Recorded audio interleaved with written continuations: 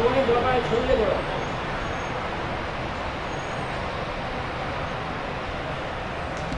working on the, uh, areas related to uh, law and social transformation. The, the is the uh, tradition uh, uh, and the law. Uh, tradition, law and social transformation in Bengal. But, uh, Bengal is a pioneer in the effort of social transformation, renaissance and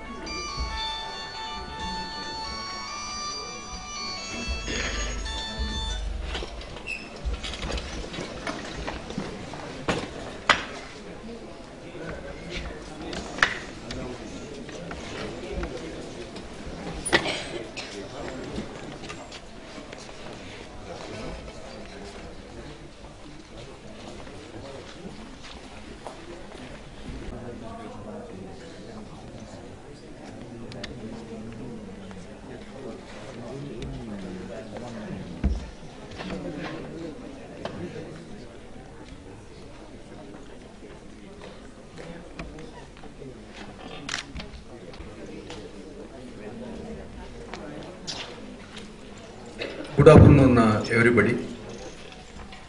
Honorable Justice uh, Chitosh Mukherjee, Honorable uh, Gopal Krishna Gandhi, esteemed uh, faculty members, esteemed guests, and esteemed invitees, students, and friends.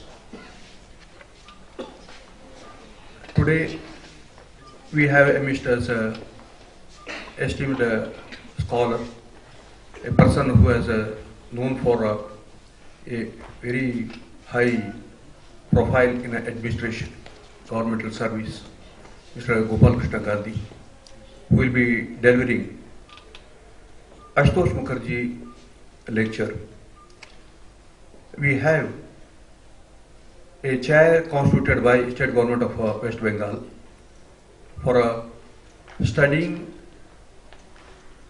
the Bengal tradition, law and social transform- transformation and uh, that the chair is established in the name of uh, Sir Ashutosh Mukherjee. You might be aware that uh, Ashutosh Mukherjee had uh, uh, contributed significantly to various uh, spheres of life. It is the sphere of law, justice, human rights, politics, education, and uh, uh, his uh, thoughts about the welfare of women or uh, welfare of uh, workers or uh, welfare of children that is exhibited in a number of his judgments.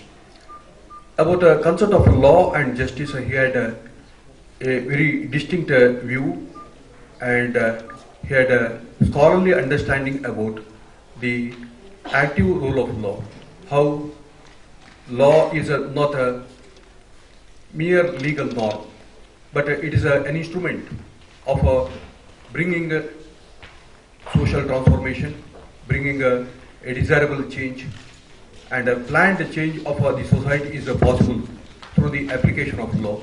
That was his understanding of law and justice. When uh, the government of West Bengal was approached by us to have a grant, the government uh, readily sanctioned a good corpus amount, and out of uh, the income earned, we are organizing series of uh, programs. It might be seminars or uh, conferences or uh, even uh, these days of special lectures. It was in uh, 2015 that it was started, and uh, in uh, 2016 we have a full-fledged uh, visiting professor for undertaking various activities of Sir Ashutosh Mukherjee chair, uh, Mr. Sudesh Pai, a very eminent uh, uh, scholar in the field of uh, Ashutosh Mukherjee studies, and he has authored uh, number of books relating to biography and uh, uh, other contributions of uh, Sir Ashutosh Mukherjee.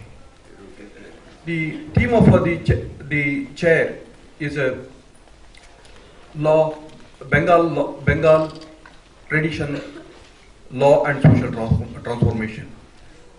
Uh, from the 1850s, we come across a, such a, a big movement which ultimately uh, wakened up the society. We had very eminent uh, leaders, Swami Vivekananda, or uh, Ashutosh Mukherjee, or uh, Rabindranath Tagore, or uh, various uh, other scholars uh, who led the whole movement towards uh, the awakening process. Today we have Mr. Gopal Krishna Gandhi, about whom my colleague will be introducing elaborately. But let me uh, tell you that uh, he was uh, born in 1945. Uh, he was a grandson of uh, Mahatma Gandhi, uh, son of Devadas Gandhi and Lakshmi Gandhi, and he has contributed significantly to literature, to various spheres, and he was a vice president. He was a secretary to vice president, and he was a governor of West Bengal. As a governor of West Bengal, uh, he made a, a very big name as a uh, very valuable advisor to all of uh, the polity. It's a quite a fortunate that he had agreed to deliver a Ashutosh Mukherjee lecture on the theme India 2025.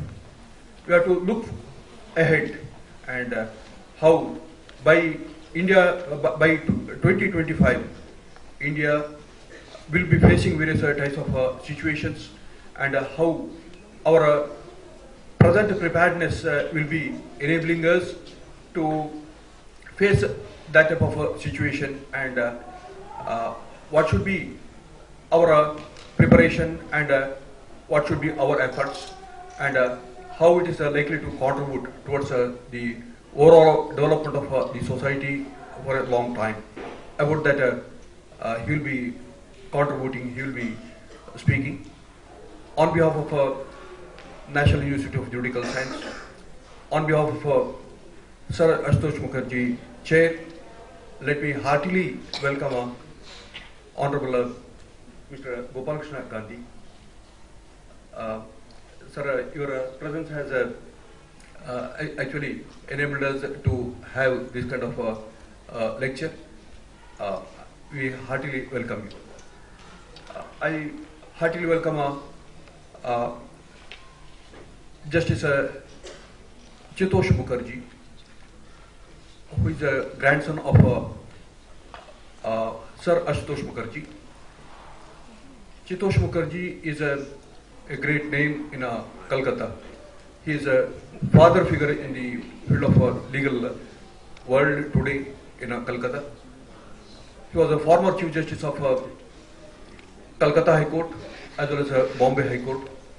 And uh, his uh, contribution to the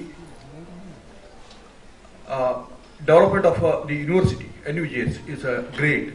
From the very inception of uh, the university to perhaps uh, 2013, he was associated with the governance of uh, the institution and uh, his guidance, his uh, uh, contribution and his participation and uh, his devotion and his work had actually contributed towards the development of the university and of course on behalf of uh, on behalf of the chair, let me heartily welcome uh, Honorable Justice Chitosh Mukherjee. Uh, with this, uh, I will uh, ask my friend, uh, uh, yes, Dr. Vikram Day to introduce uh, uh.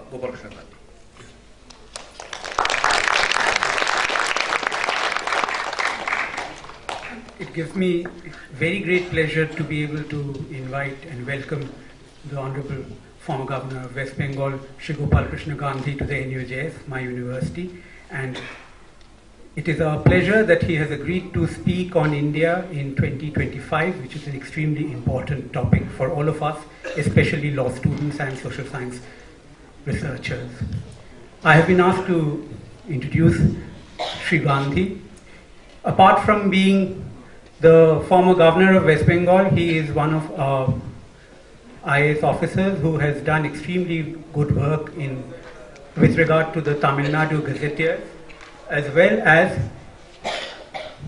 some very, very good books that he has edited and published on his grandfather Mahatma Gandhi, as well as in literature. To me, his three books, one play on Dara Shukoh, and his grandfather, Mahatma Gandhi, which is called A Frank Friendship, which he published while he was here in Calcutta from 2004 to 2009, are extremely important. A Frank Friendship details out Gandhi's days in Calcutta, his visits to Calcutta from, 18, from the 1890s to 1947. And I think that book does throw very great light on the history of the national movement especially Gandhi's involvement with Sri Gandhi is also one of our finest administrators, having been an ambassador in a number of countries as well as having been a director of the Nehru Center in London. I think I will not take up much of your time anymore. I will invite Sri Gopal Krishna Gandhi to come and deliver his lecture.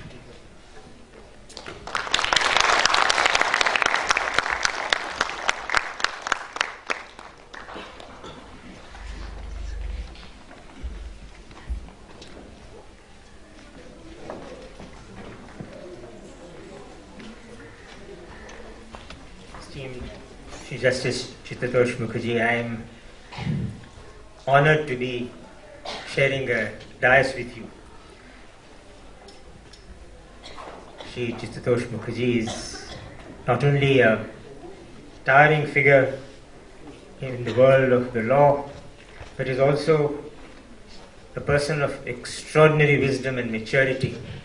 And I uh, am personally beholden to him for many acts of kindness and guidance which he was kind enough to extend to me when I was working in the state until 2010.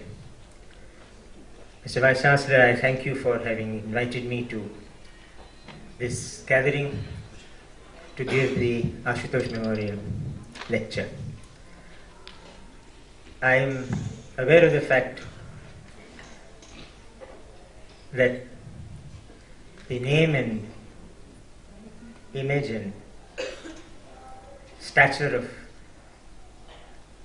Ashutosh Mukherjee requires no elucidation to any audience in India, particularly in Kolkata, beyond what is already known of him and cherished. But I would like to say one thing about him which all of us are aware of, but perhaps needs uh, periodical re emphasis which is this that while he was all that he was in the corridors of justice, and he did all that he did in the institutions of education, it is really what he did in society to change some of its stubborn ways that is so extraordinary about him. The way he took upon himself the task of explaining to society what widow remarriage entails and what it means and what it should do, consequent upon the tragedy that befell his daughter Kamala, is what I personally treasure him the most for. Societies throughout all their evolutions have people who conserve its traditions, have people who challenge those traditions, and have people who just take that society forward exponentially by 10, 20, 30, 100 years. It is very few people to whom this opportunity is given. He was one of those. he challenged society to stop being chained and shackled to tradition when that tradition was so manifestly and patently inimical to the welfare of individuals, categories, and in this case, to India's womankind. It is right, it is customary, it is also universal for any society to want to be proud of itself, its, of its country. And there is no reason why we should not be. I think we have more reason than most to be very proud of our tradition, of our societies, and of our country. But I think it is important for us to know that there is so much in India that is requiring of a completely different reaction from us. Pride, yes, but pride which is blind to the faults of our society is not pride, it is just arrogance. It is in fact worse than arrogance, and I will not venture descriptions of what it really is. Essentially, Nehru was very right when he said that there are few countries which have so much that is truly noble about them, and there are few countries which have so much that is truly disgusting about them, as India. And I think we have to keep both truths together. I, am sure many of you are students of literature as much as you are students of law. And you must have heard of uh, this famous description of the painter Salvador Dali by, by George Orwell in, in a very remarkable essay called The Benefit of Clergy. Salvador Dali's paintings are, are, are, are worth seeing many, many times over for both what uh, they, they, they do to impress you and what they do to shock you. But George Orwell said that one has to remember about Salvador Dali that he was a consummate artist and a rotten human being. He was both. And one must remember this because uh, the biography of uh, Salvador Dali is um, unreadable without a sense of disgust. And I think it is important for all of us to cultivate a sense of awe, a sense of appreciation, of admiration, but also the readiness to be provoked, disturbed, indeed enraged by what is happening around us. I do not need to recount the things which may disgust ourselves as a people. Uh, you know him as well as anybody else does. But I would like to, to take this chance to, to share a few concerns about, about the way we are before I venture to say what we may be 10 years from now. I think it's, it is a truism that uh, India has uh, become so ridiculously uh, overpopulated that it is uh, literally eating itself up. I think there is something to be said for that. But we must also realize that there are two sides to this. If we are extraordinarily large and bulky, it is something which is a fact. And yesterday at the at the Lit Fest in in Kolkata, this question was asked uh, by by a member of the audience: Isn't our population uh, hideously big? And are we doing any anything about it? Have we stopped talking about the, the problems raised by uh, population growth? And um, Mr. Jairam Ramesh, who was in the audience, gave a very game reply. He said, Yes, the population of India is growing exponentially, it is a problem, but it's not the population of India that is the problem, but it is the consumption levels that is the problem. You can have, as in China, a very medium population growth rate, but accompanied by an extraordinary increase in what that population is doing to the pollution of China. And China's contribution to the pollution of the world was at its maximum when its population was stable. So in India too, the population of India, which is growing at a huge, huge rate, is, is, is not in itself the problem. The population of India is a problem because its contribution via consumption levels to the pollutions that we are seeing in the world and which we are now feeling increasingly on our skins is the problem. But this is like any other major issue, only one side of the issue. What is really true about the population of India? And this reminds me of a very George Orwell like situation again, in which not a person who was a writer, but a simple journalist called Tarzie Vittachi of Sri Lanka, uh, he has written about. And Tarzie Vittachi says that no Lankan or no Bangladeshi or Pakistani, Maldivian or Nepali likes to be mistaken for an Indian when abroad.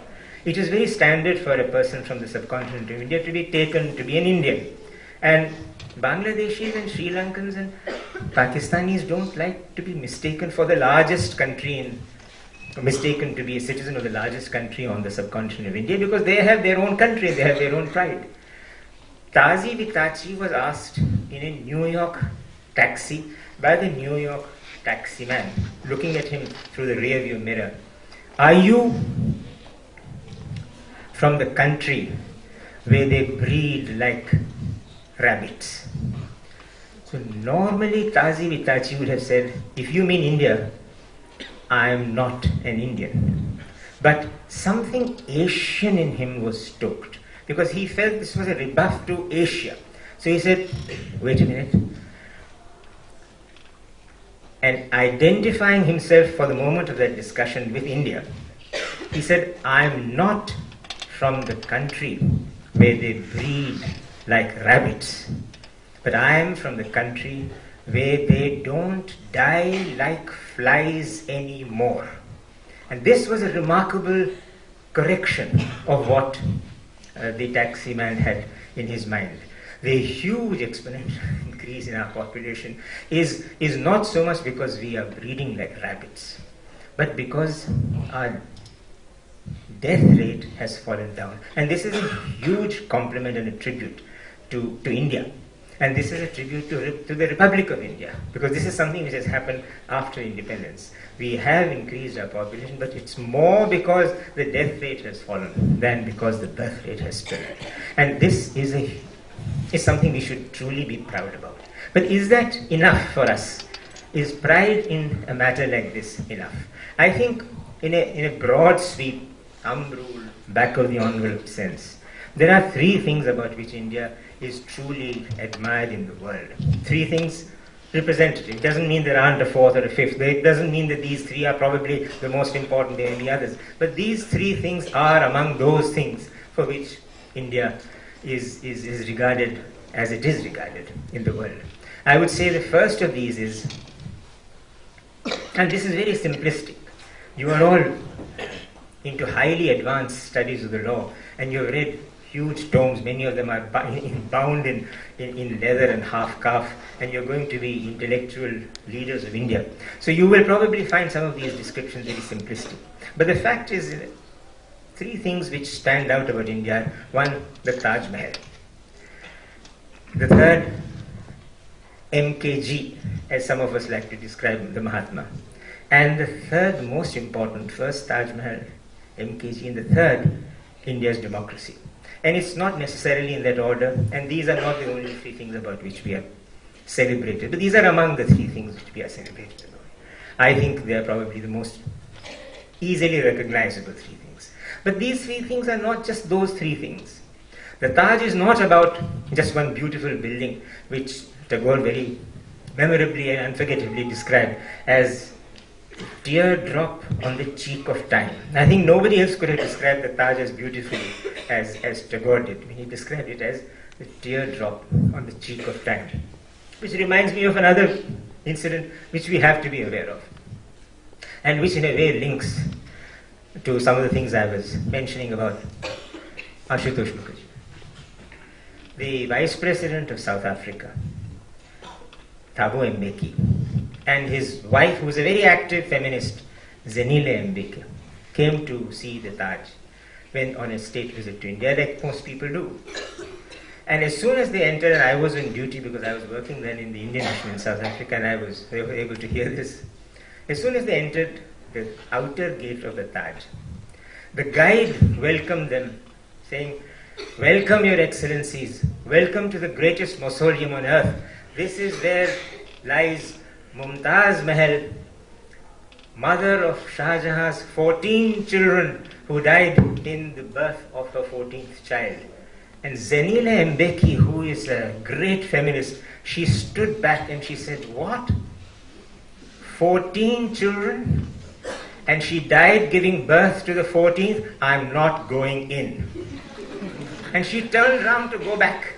When Thabo Mbeki went up to her and said, Zanele, in those days, having 14 children was not such an unusual thing. And she was a tenderly loved wife. Come in. And Zanele went in. But the fact is, the fact is that the Taj Mahal, the world's greatest mausoleum, is also where lies this woman, Mumtaz Mahal.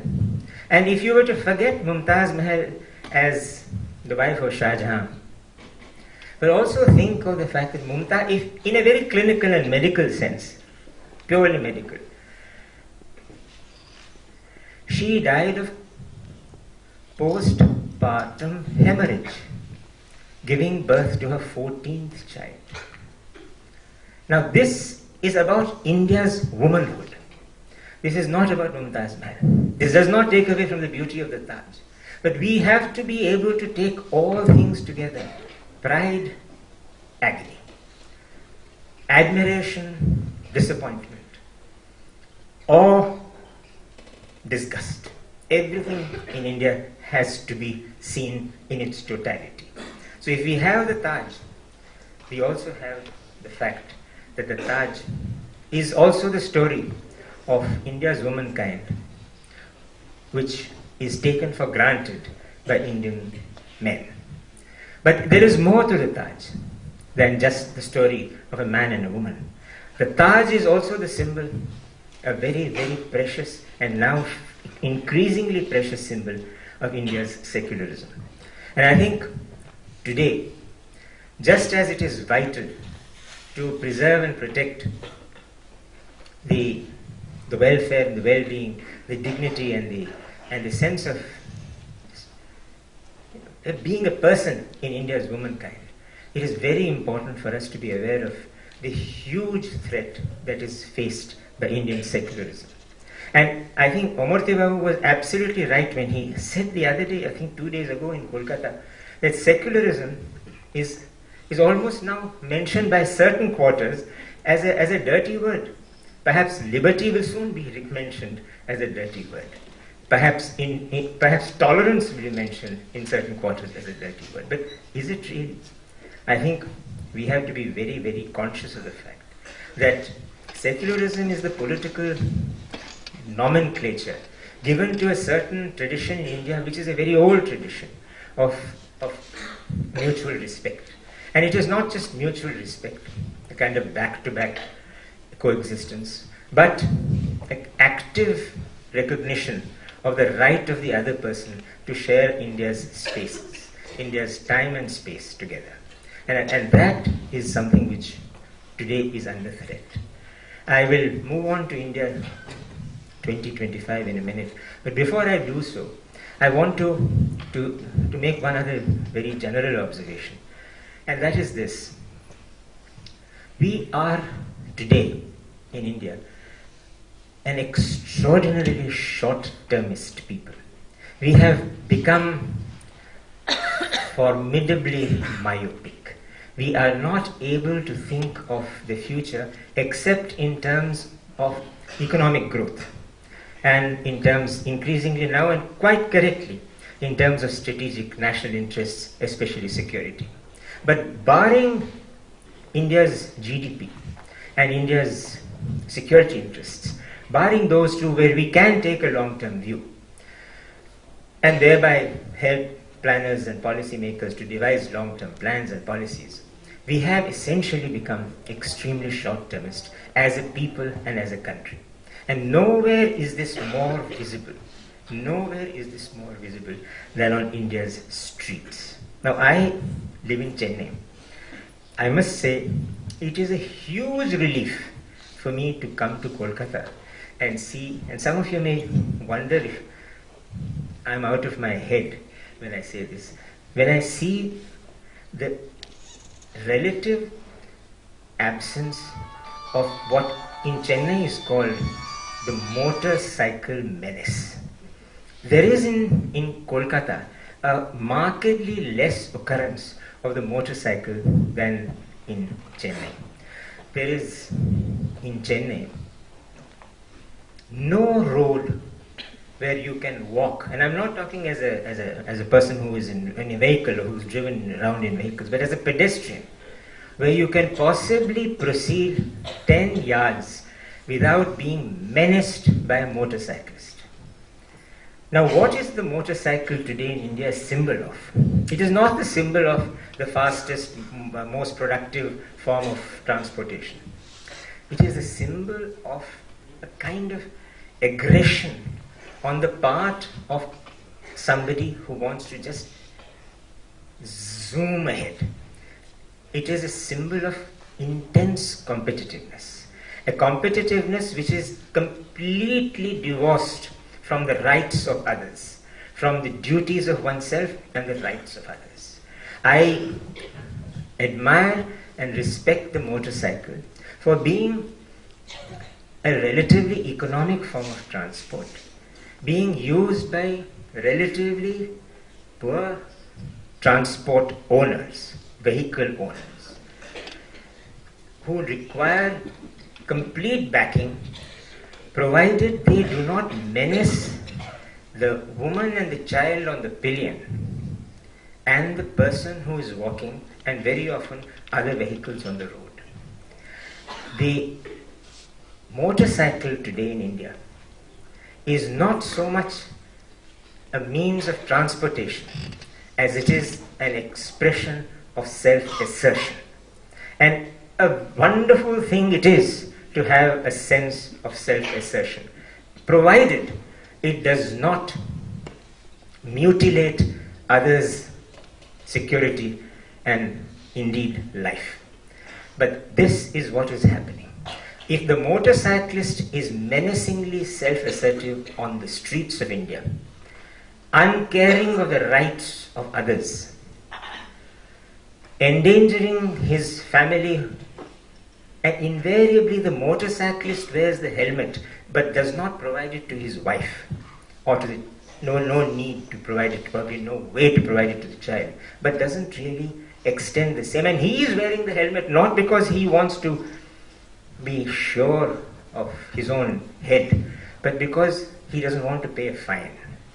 And this is not just a motorcycle matter. It is true of India as such. The rapacity of our mining lobbies, of our plastic lobbies, is no different. In fact, it is enormously worse. What are our mining lobbies doing in India? They are not only gouging the earth and disemboweling it of its minerals, which really belong to the whole country and are not meant to go into the private profit coffers of the miners, but they are doing so illegally. The biggest and the most scandalous examples of uh, daylight loot in the world, I think, have to be seen in the form of India's illegal miners. And by illegal miners, I don't mean the small man who scratches the earth and picks up something which is lying 10 feet below. No. But these are huge, huge cartels with the highest technology at their disposal who are engaged in what they are doing illegally. But even those who are doing what they are doing legally, there is a kind of rapacity, uh, a, a, a mindless desire to earn the maximum profits in the shortest period of time. Likewise, the plastic lobby. And between the mining and the plastic are smaller lobbies like the sand mining lobby. I do not know if there is such a thing, but I forget if there is such a thing in West Bengal. But river sand is today a very precious commodity.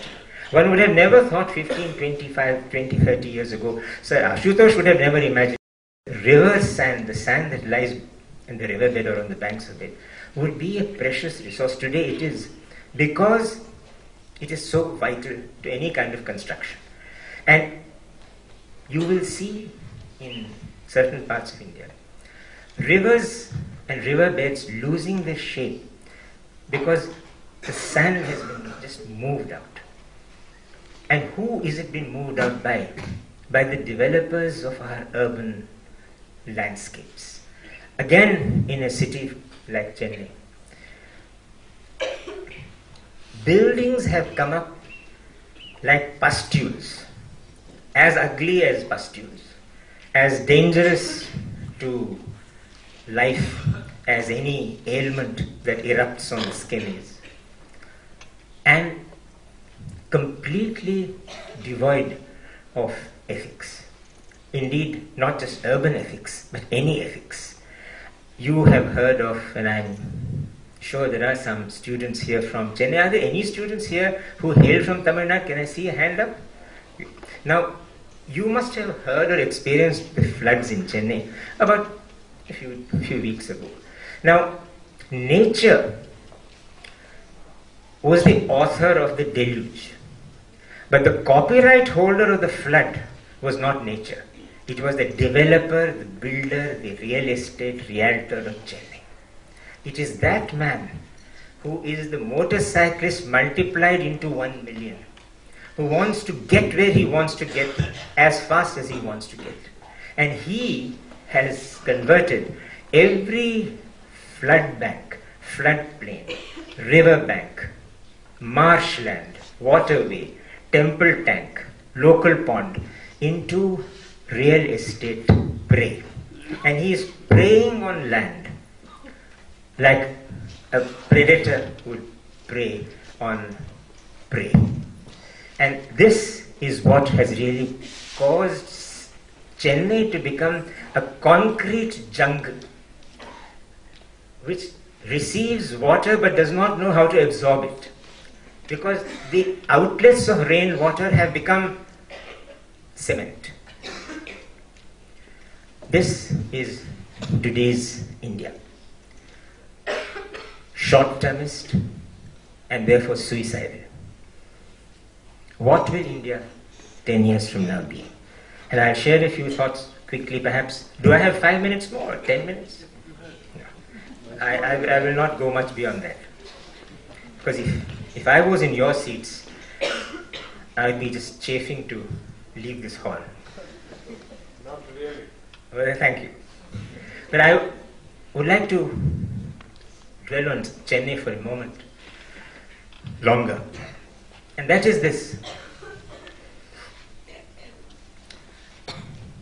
Everything that happened in Chennai was because of the city.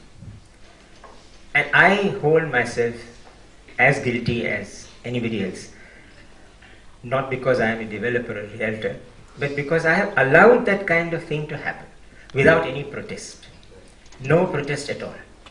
And it is because we in the city of Chennai did nothing for the last 20 years to raise a squeak against what was happening that today we had had to we have had to go through what what happened. And oh my God, ayo, this is, is this I can't believe it. Worst rainfall flood in a century, which is not statistically true either. Even in 1987, we had rains which were not so copious but fairly strong. 87. Sometime in 58 also we had a we had a very very heavy downpour. Perhaps not so much as December of 2014, but bad enough. But it is today that we are able to just become completely marooned by ourselves. You have half a dozen of you laptops open in front of you, and I really hope you're all looking at something completely unrelated to what I'm saying. Because if I were you, I would be doing so. But in case you are not, in case you are doing what I would be absolutely, you could knock me down with a feather if that is happening, which is transcribing my words of wisdom or my words of pearls into your laptop. If you are doing that, I would suggest please don't do that. It is just not worth it because you know what I am saying. But if you are doing something else, please go ahead and enjoy it. But that is exactly what we were doing in Chennai. We were so absorbed in our screens. We were so completely mesmerized by our own entertainment and our own self entertainment that we did not know what we were doing to ourselves until the lights went out. Until The net went dead. The landline became a carcass. My mobile would not work, my phone would not work. I then became exactly what my great great grandmother and great great grandfather in Chennai were human beings who, if they wanted to reach somebody, had to walk to that person. No motorcycle menacing them. Only a couple of cows. But we got to where we, they got to where they wanted to get. We couldn't because there was water. There was water up to and there was water. And I'm being very, shall I say, optimistic when I say there was water. It was not water. You can imagine what it was. It was everything except water. And it is not because you don't want your feet to get wet that you didn't want to walk on that. You didn't want to uh, be in um, what can be called a creative tactility with the vermin of the world. But that is what it was. And we were responsible. And where cement was not doing what it had done, plastic was doing what it was doing. I can blame the realtor for the cement, but I have only myself to blame for the plastic. But not just myself. Why is it that I throw my garbage on the street? Because I'm used to doing it. I'm used to throwing my banana peel on the street. But the banana peel of was biodegradable. The plastic will last till time lasts and it has now got into the arteries of our drains. But behind my misuse of the plastic is the plastic lobby of India. I cannot understand, and I'm sure you will agree with me, why it is that this obvious, obvious to the child, obvious to the meanest intelligence, in fact, in, incidentally, I cannot understand this phrase meanest intelligence, as if there is a gradation of intelligence meanest, mean, less mean, more mean. intelligence is intelligence. You can't have, like, in a certain state, there was an award for integrity. And how was that award calibrated? Outstanding integrity integrity of a high order, integrity. So, like that, we can't have intelligence, less intelligence, mean intelligence. Intelligence is intelligence. So, any intelligence would balk at the sign of our plastics. But there is another intelligence which is not intelligence but smartness. A kind of, shall we say, the naughty cousin of intelligence. And that naughty cousin of intelligence is also cousin to deceit, his uncle to fraud, his grand uncle or grand aunt to crime. The plastic lobbies of India, which include the Gutka lobbies, know that come election time, every party which wants to form a government, which wants to, to ban plastics, will need cash. And they will come to us. And we will be the suppliers of the cash and they know that there may be a temporary order printed in poor English on cyclostyle paper, which is unreadable, banning certain microns of plastic bags. But that paper will disintegrate, but the plastic will stay. The plastic lobbies, the mining lobbies, are to Indian democracy what postpartum hemorrhage is to the Taj Mahal. Indian democracy is a Taj, but it is founded on this extraordinarily awful, hideous nexus between elections and cash. Cash comes in wholesale vehicles, like what used to be called cargo trains, you know, those very rusted, completely sealed up windowless carriages which used to go on train railway tracks and used to see them from the railway crossings. It comes in those bulks and then it comes in small jade sized packets, but cash comes. And we have, you will all know this, company law, which says companies can donate to political parties. We have a very distinguished former law minister in our audience, Nishit Babu. How companies donating to political parties can sound a wonderful thing. Political parties need to campaign, and when they campaign, they need cash, and when they need cash, they have to turn to companies. How neat!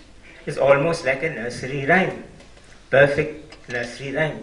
Starting with Once Upon a Time and ending with, and I must tell you, uh, my, my little granddaughter, whenever she cries in class, she's told, Why are you crying? And she says, Mama. And she's, the teacher says, Why are you crying? Mama will come after lunch. So whenever I end with a story which says they lived happily ever after, she says happily ever after lunch. so it's something like that. Happily ever after lunch. Every political party is in need of cash. And the crying corporate sector knows that it's going to be happily after lunch, lunch being election and they will then be in clover. I'm not saying, I said, I, I, I, must modify that and take it back, every corporate. No, there are great corporates and there are great companies which are not in this business.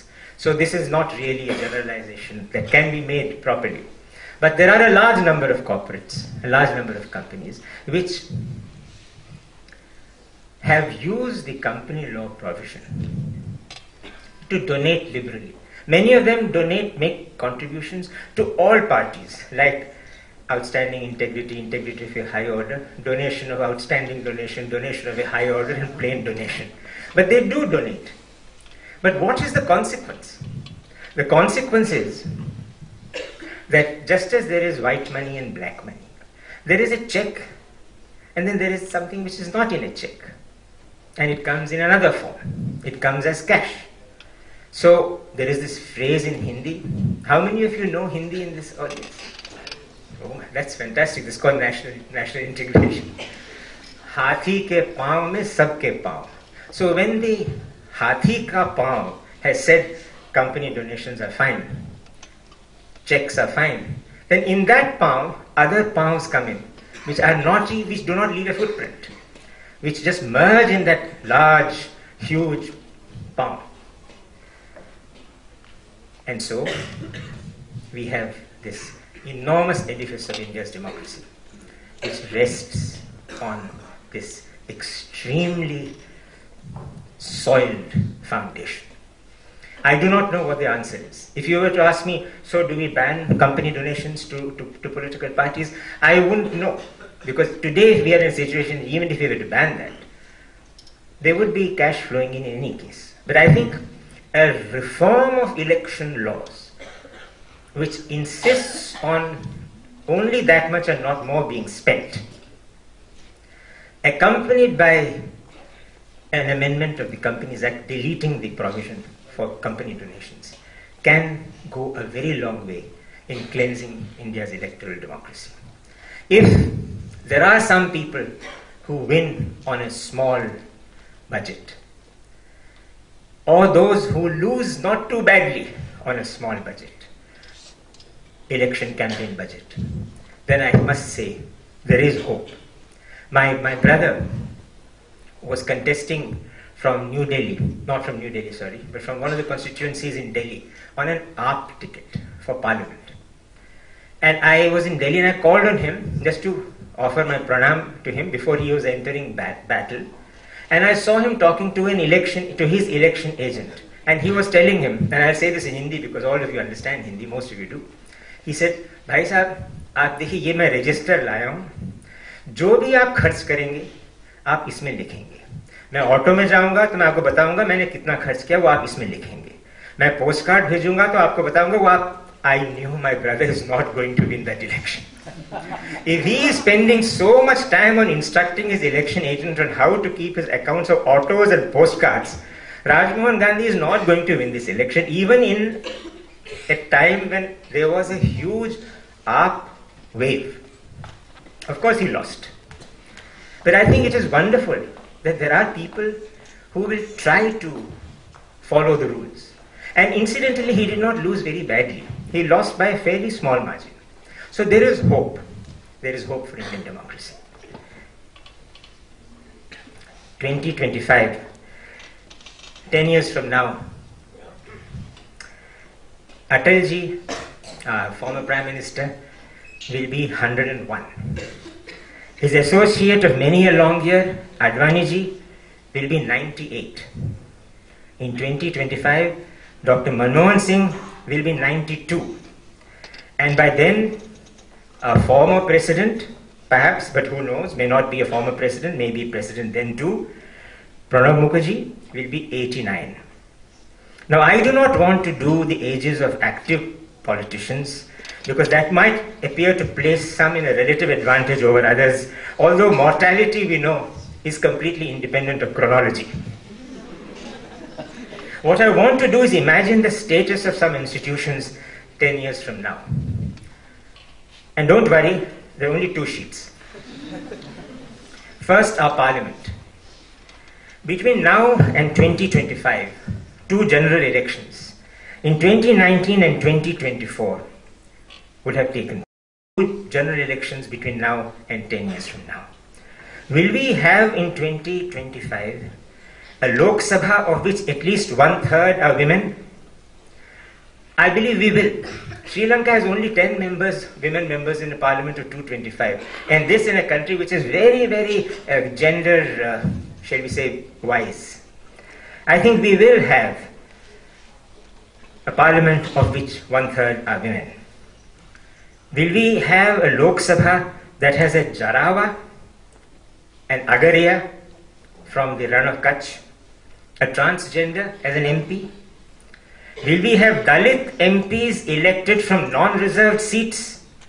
Very probably yes. I sincerely believe yes. A Lok Sabha in which MPs have spent only that much campaign money as is allowed by the Election Commission of India? Certainly not. a Lok Sabha that has no member with a criminal record? Alas, no. Will we have a Lok Sabha that is not adjourned many times a day because of MPs' unruly behavior? Definitely not. Why should we cavil at the motorcyclist running bizarre on the streets if the Lok Sabha has to be adjourned for unruly behavior? And this is about a Lok Sabha that will be in 2025, mind you, 73 years old. At 70 and a half, I'm a very senior citizen. 73 year old our Lok Sabha will be. But it will be a shock of such joy to me if it is a Lok Sabha that does not see unruly scenes. Next, our higher judiciary. Between now and 2025, will we have a credible procedure in place for the appointment of judges? I believe we will. I sincerely believe, despite all the, the, the, recent difficulties that we have been through, we will have a credible procedure in place for the appointment of judges. And if, to borrow the words of senior counsel Sriram Panchu, the appointment of judges follows the triple tenets of governance, which is transparency, participation, and accountability. Virtues which the court itself pronounces and propounds. That procedure will give to the people of India an important reassurance. Will by 2025 our honorable judges have been insulated from the lure of post retirement appointments by the government of the day? I'm afraid not.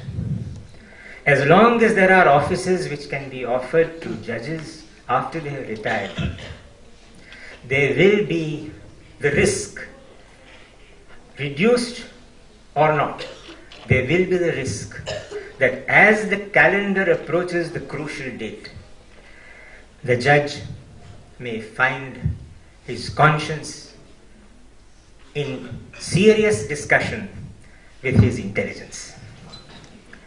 And our Supreme Court will in 2025 be two years older than our Lok Sabha. It will be 75 years old. Then our executive.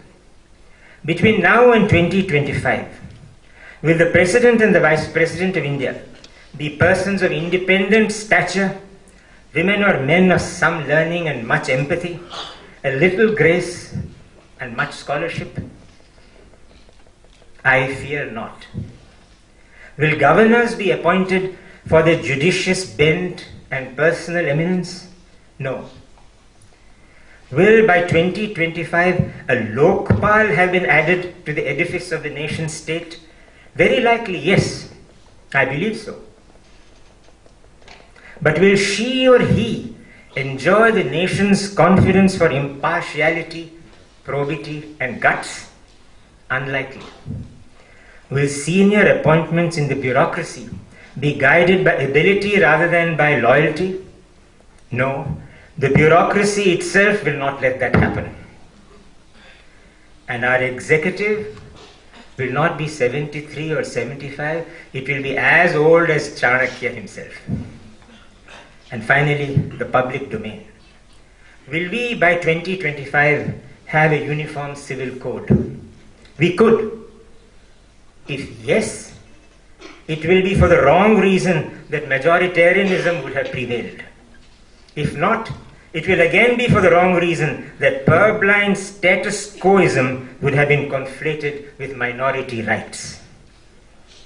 Will communalism, the antithesis of secularism and pluralism, have been reined in? It will not be. Would the death penalty have been abolished? I am afraid not. Medievalism will not let go of that toehold. Will there be a modicum of reform to curb vehicular traffic's insane behavior on our roads? Certainly not. First time vehicle owners and license holders will continue to treat driving as what I said.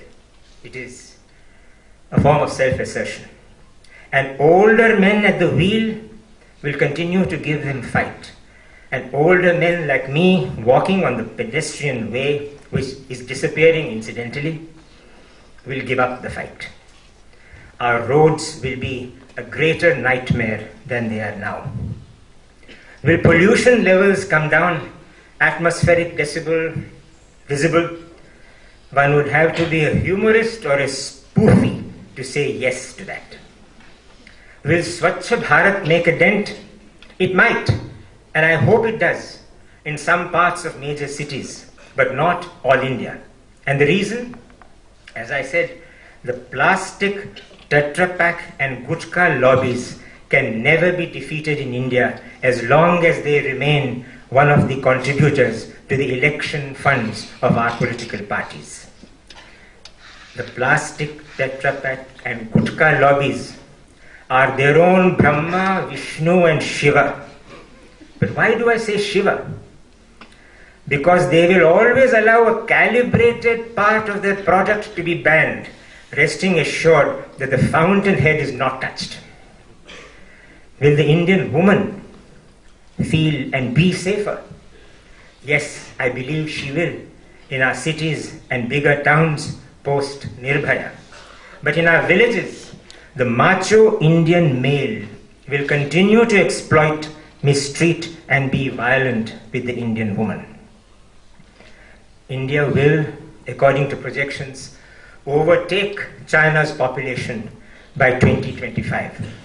It will be a land of multiple chaoses, myriad tensions, of which the yawning divide between the rich and the poor will see unthought of consequences. Migrations of the rural dispossessed looking for work in the cities will have created a world record of sorts. India 2025 could, and you will all see it. I would have probably moved on to a less tense plane. India 2025 could well be the theater of pandemics, a trapezium of zoonotic ogres caused by the leviathan of callous living, and almost certainly the refusal of the state and society to heed seismic warnings and not adjust habitations to those. Will see the most horrendous earthquake disasters of the Kathmandu type occurring in zone 4 of India's seismic map, endangering cities like Delhi, but not just cities like Delhi, through the direct impact of the earthquake, but also through what happens to nuclear power plants like Narora, which are located right next to Delhi. And what of Kolkata? Kolkata is not in zone 4, but Kolkata is likely to see if Amitav Ghosh's predictions or projections or anticipations or wise foreseeings of climate change are true, the worst possible attention of unpredictable cyclones, storms, and typhoons, which could extinguish the gap between the Sundarban and Kolkata. And apart from giving us bizarre scenes like possibly the Royal Bengal tiger swimming on Park Street, could also see the most unimaginable hazards, horrors, and nightmares to life. This will not be because a particular government or a particular generation has failed, but because we as a people have just taken no notice of the extraordinary challenges of climate change. So obsessed are we with pointing a finger at others that we have been saying to the developed world, you fouled up the atmosphere, you clean it up, we are going our own way, without realizing that we are going to be the worst hit from climate change. We cannot prevent climate change as we perhaps should want to. We can perhaps mitigate the speed of climate change. But we can do things to adjust our forms of living and life in anticipation and wholesome anticipation of that, but we are not doing it. And thanks to IS, the nightmare of our times, terror will scar us deep and red. And yet, and with this I will say, say my leave. And yet, and yet 2025 will also see that most wonderful accomplishment of India, and I'm not referring to the orbiting vehicle around Mars. India will see her republican spirit soar and make every passing political high weight swing like a leaf against the counterweight of public awareness. It will also see to it that the global war on terror does not hurl India into a local war within itself, communities pitted against one another. In a bizarre home version of that world war. For we are indeed, and with this I end, in the Third World War. We should know that we are in the Third World War. When President Hollande of France, who is today in Delhi, says France is at war, and the leaders of the governments of China, India, the US, Britain, Japan say, Yes, we are with you in that war. The world is at war. We are at war with terror. But we should know that it is vital that while we fight this world war on terror, we do not create and generate a home version of that world war in the sense of communal antagonisms within our country.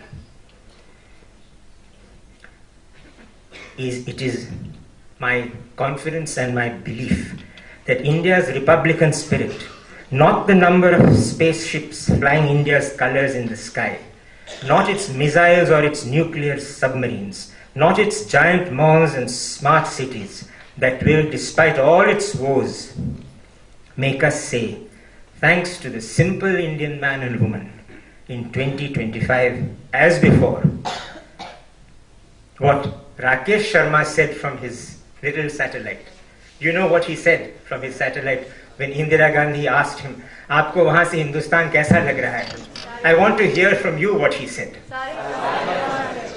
And that Hindustan will be ageless. I thank you.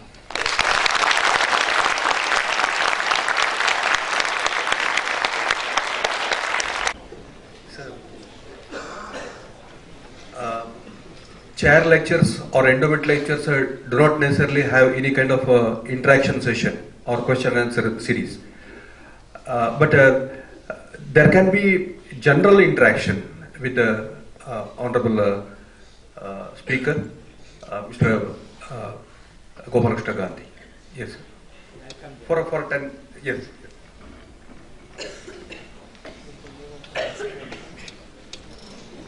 Uh, may, I, may, I, may I just add to that to say that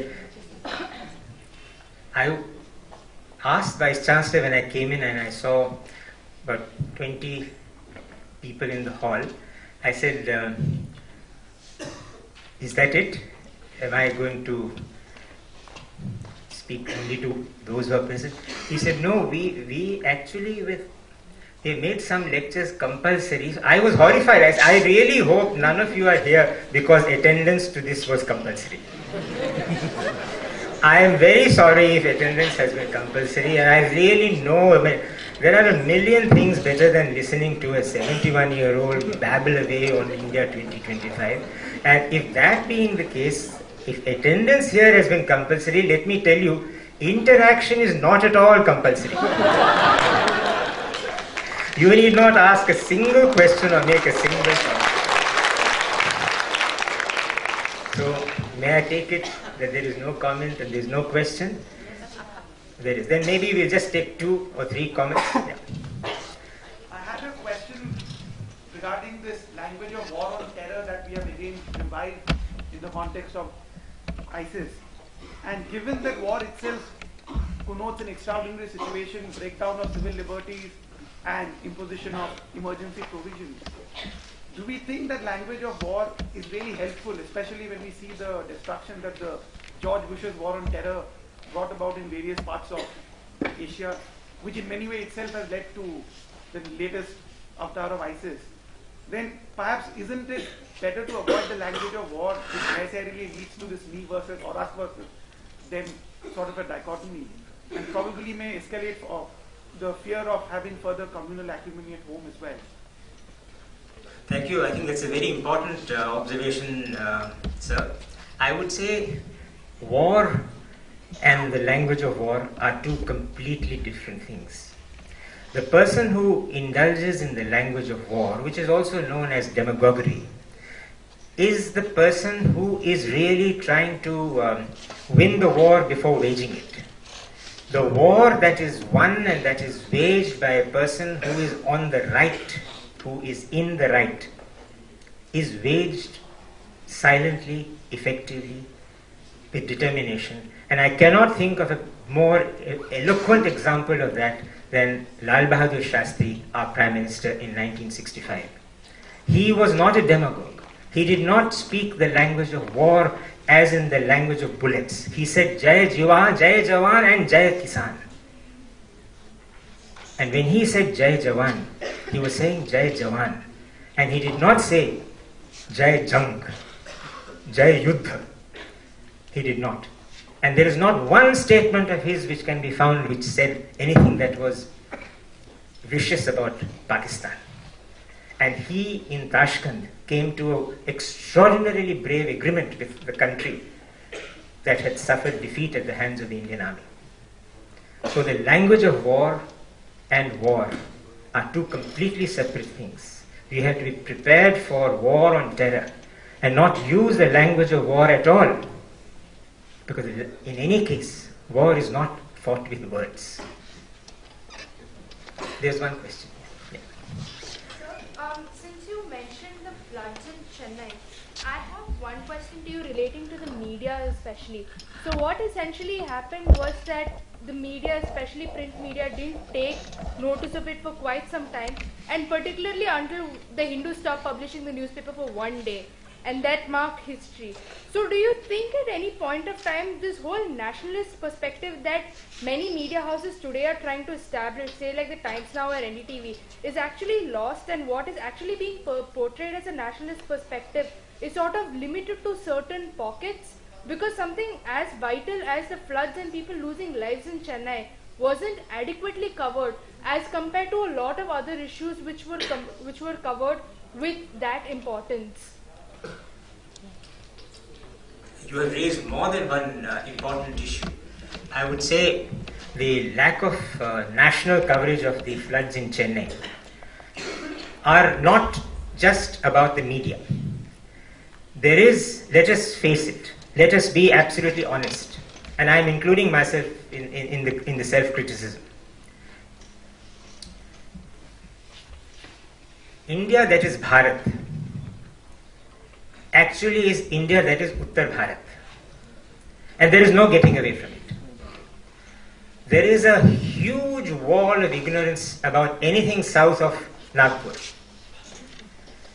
I am not even saying south of the Vindhyas because that has become a cliche. If you were to ask a school child to plot the Vindhyas, find it difficult. But if you were to give a school child chance, school child, I mean, I mean somebody in the seventh or eighth class, say where is Nagpur, they may find because it's bank center.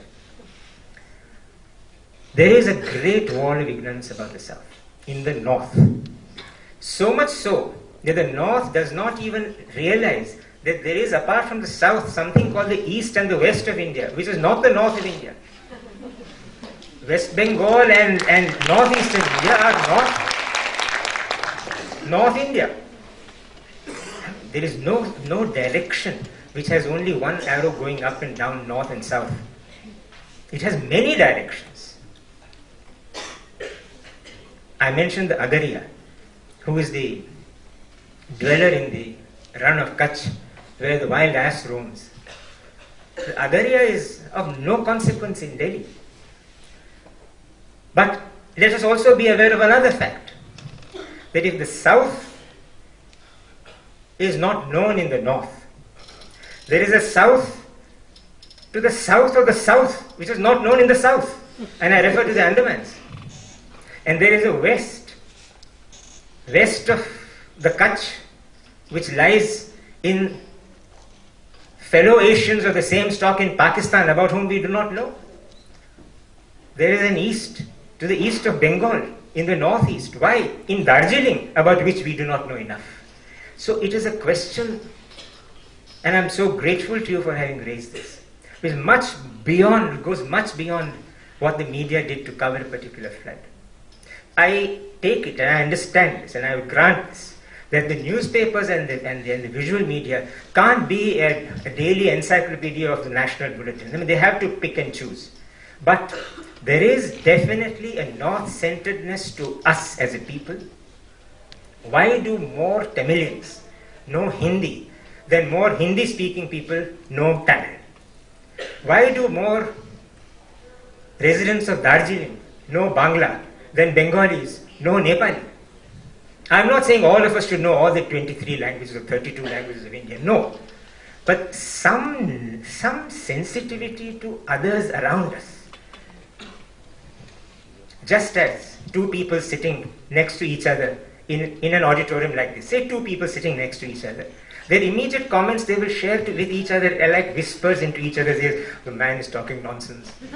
I mean, how long do we hear this rubbish, this platitude? Why did the vice chancellor ask for this interaction? It's time for us.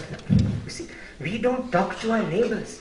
Andhra does not talk to Tamil Nadu, so much so that Andhra does not talk to Telangana. we are neighbors in an auditorium.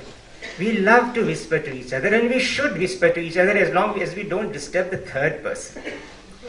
And similarly, we must not whisper or slander, but must communicate with each other all the time, media most of all.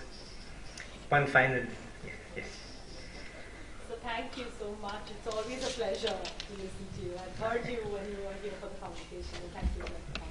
My question is with reference to the parliament that you were talking about in 2025, and you were saying that a lot of marginalities come to be represented.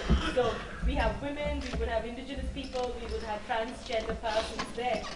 And yet you said that the style of operation wouldn't change. So would this representation then be one, tokenism, two, you will not have critical numbers of, say, uh, marginalities who will change the modus operandi, or will women, transgender, minorities, whoever is included, would have to play the same old game and, and, and hierarchies really don't change. So, so why did you say that in spite of representation, the, the overall existing style in which it is operative now, that you're extremely critical of, doesn't seem to change. So, what's the point in having a more representative parliament if, if, if the representation of marginalities can't change the order of things?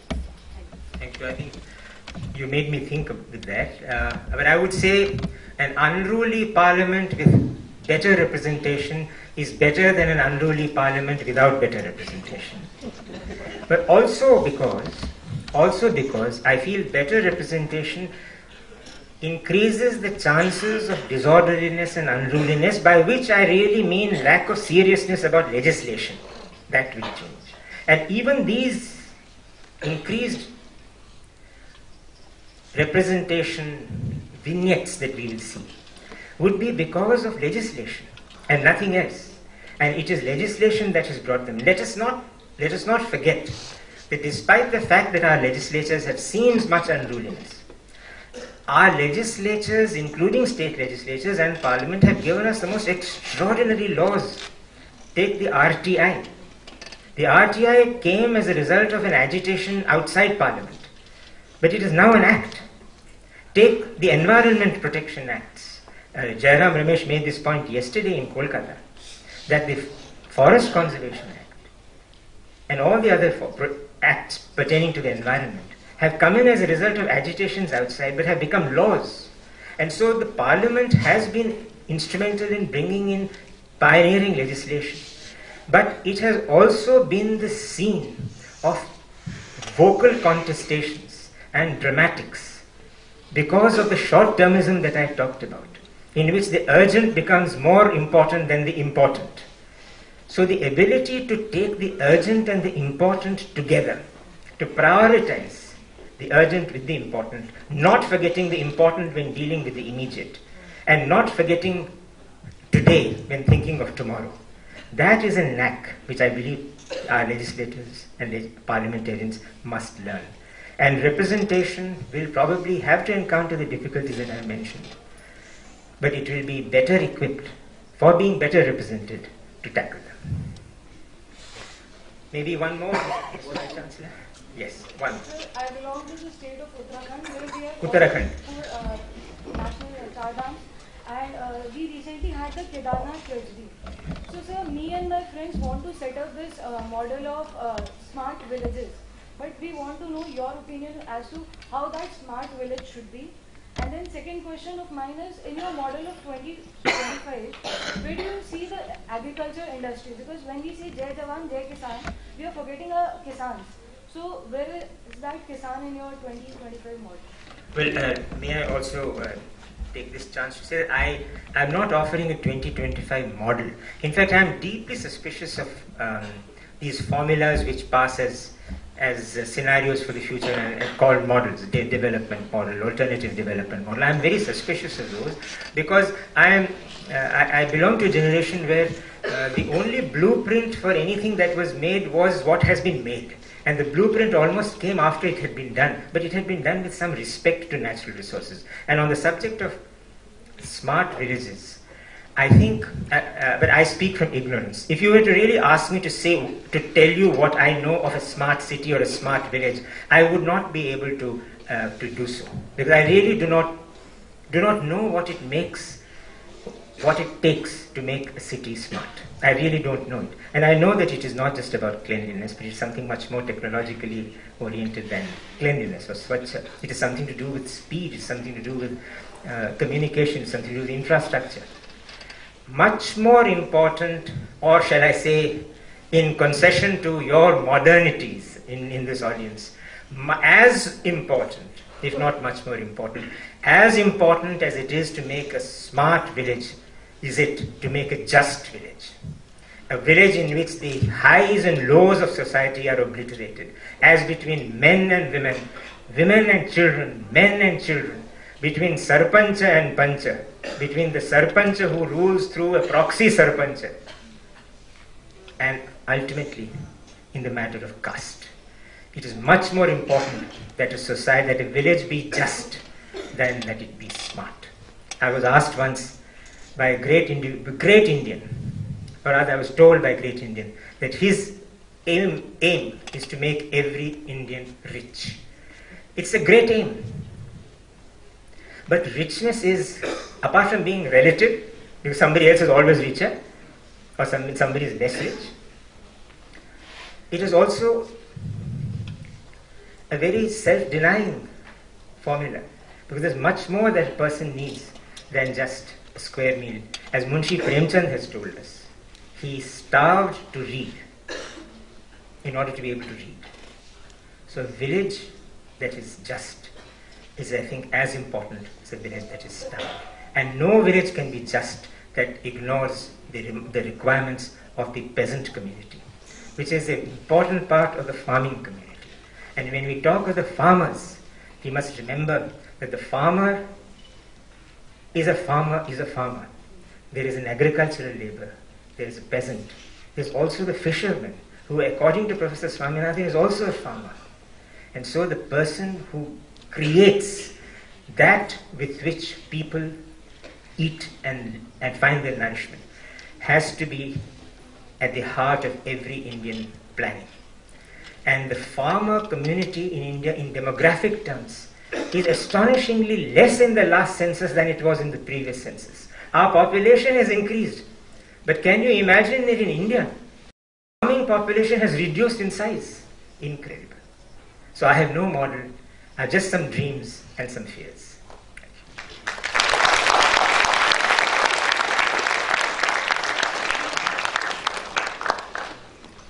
In, a sense, uh, it is a continuation of uh, the great message of uh, our father of nation, Mahatma Gandhi. It is that uh, every social transformation occurs on the basis of uh, the anger against uh, oppression, evil, and uh, non-cooperation with the, any of uh, the oppressor.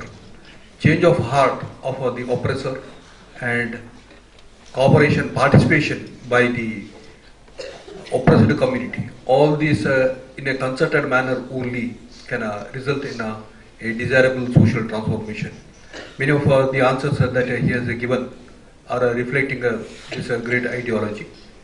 Now it is uh, the time for uh, felicitating uh, our uh, honorable uh, guest.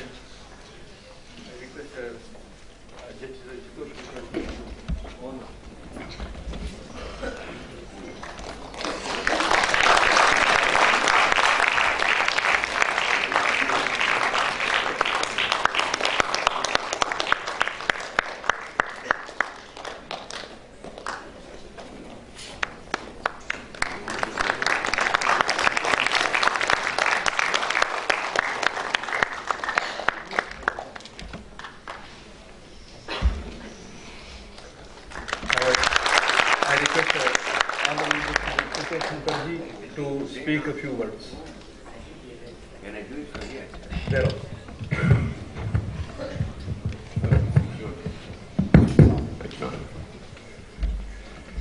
It a pleasure, and it's also today, we have Mr. Gopal Krishna Gandhi, and he has not disappointed us. Well, after such a brilliant speech, I don't aspire to say anything more, except to say that his message is not one of prediction, but uh, expectations, what is likely to be. May I hope the things that he has thought would endure, have been enduring this uh, oldest civilization still subsisting, will continue. Taj Mahal representing more than a building, our democracy, the spirit of tolerance, these are things and hope in another eight years or so which remain would endure. So may I also say that taking in a different context, the name in whose name this lecture is being held, Sir Asutosh Mukherjee talking about law, had said both its aspect of continuity and change. I hope that good things will continue, then the things which require to be altered will disappear, and then we live in hope, hope that happens actually. Thank you very much again, Mr. Gopal Gandhi, for being here.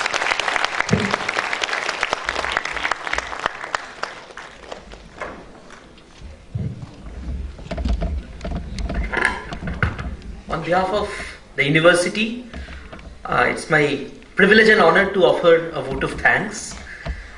First of all, of course, to Mr. Gopal Krishna Gandhi.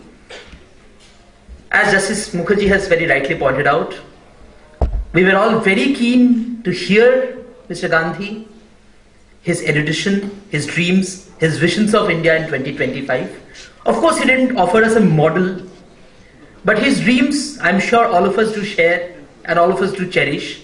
And we assure you, sir, all of us here would aspire to live up to your expectations of uh, the ideal citizens that India 25, India 2025 will see. We thank you for coming to NUJS yet again, and we hope to have you in future. May I also offer my humble uh, vote of thanks to Justice Honorable Justice Chittatosh Mukherjee. He has been a father figure for this institution, and it is so befitting the occasion that the Asutosh Chair lecture is presided over by him. Thank you again, sir. I would like to thank Honorable Vice Chancellor Professor Ishwar Bhat. Professor Bhat has been the guiding force for this chair as well as for many other activities in this university. And yet again, we have managed to have such a intellectually stimulating talk by Mr. Gandhi, and we hope to see, we hope to hear many other dignitaries in future.